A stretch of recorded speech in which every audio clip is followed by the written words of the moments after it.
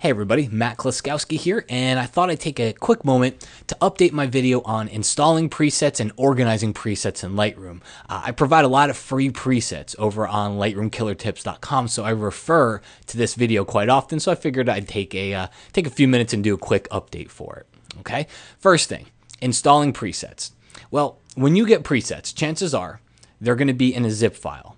Lightroom has no idea what a zip file is. So you have to unzip the file, just double click, and then you'll see a folder with all the presets. So I created one called Twilight, all right, and these presets are, uh, they're, they're kind of modeled after the Twilight movie posters, a very similar effect. So I just went through Lightroom and kind of created the settings to give a similar feeling to those movie posters.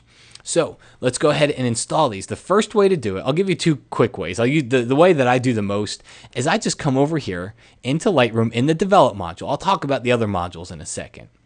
But in the develop module, I'll come over and I'll right click on user presets. Okay, don't do it on the Lightroom presets folder. It's not going to work. You got to right click on the user presets folder and choose import. And then go into the folder with the presets, select the presets you want, hit import, and you'll see they pop up right over here inside your menu. Okay, and I'll hit reset. You can see what the effect looks like here. So I'll do the strong effect. So that's the twilight effect. That's the preset. Got a whole bunch of presets. Again, if you go over to Lightroom Killer Tips, uh, there's a ton of them on there for free, so you can check those out. Now, that's really the way that I install my presets most of the time. Once in a while, and it, it, it's just, you know, whatever one kind of suits you more. Another way to do it would just be double click on the preset file itself. All right. Now, the first time you do it, the first time you double click on an LR template file, it's probably going to come up and say, your computer's going to say, I don't know how to open this. I don't know what application to associate it with. So you would just point at the Lightroom application. So if that window pops up, it'll usually give you an option that says choose application, point it at Lightroom, and then what happens from from then on out, when you double click a preset file, it asks you if you want to install it. Would you like to install the preset called Twilight? Yes, install, and you'll see it shows up right over here in the menu. So if that doesn't work for you, if you don't like that method, then of course there's nothing wrong with doing it the way that I usually do it. Again, just come over here, right click on the user presets folder and choose import. Now, if you're working in slideshow, print, or web, the only thing that changes is that it's going to be called user templates instead of user presets. But you come over here, you right click on the user templates folder and choose import. Just make sure you unzip the presets. The, the main the main stumbling block that I see is people saying it's not the right kind of a preset. Okay, and that's because either A, they've gone in here and they've tried to import the zip file, or B, you go to the develop module and try to import a print preset.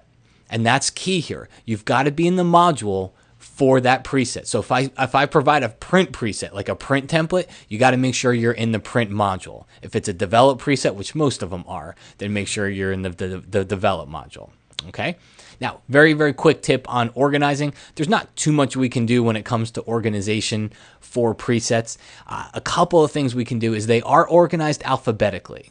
Okay, so however you name them, they're going to appear top in the list. If you put a 1 in front of a preset that maybe doesn't begin with an A, then it's going to appear first in the list. If you put a 2, it'll appear second, obviously, as you go down the line. So if you have something that doesn't necessarily begin with an A, but you want to make sure it's at the top of the list, put a 1 in front of it.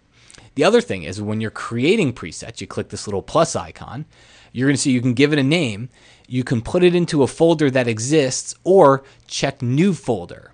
All right. A lot of people create a black and white folder, a special effects folder, or vignettes folder, something like that. But create a folder so you can organize all your black and white presets into the black and white folder. So just another little organization tip for you to help keep what really happens to me, which is I put most of them all into one folder and I get this huge preset list. So if that's a problem for you, you can start organizing them into smaller folders to help help keep things more tidy. Okay. Well, folks, that's all I got on installing and organizing presets in Lightroom. Again, you can find all of my presets over at lightroomkillertips.com. Just uh, go on the right hand side, click on the little presets category, and uh, they're all free, so feel free to download. Thanks again for watching. My name is Matt Kloskowski, and I will talk to you again soon.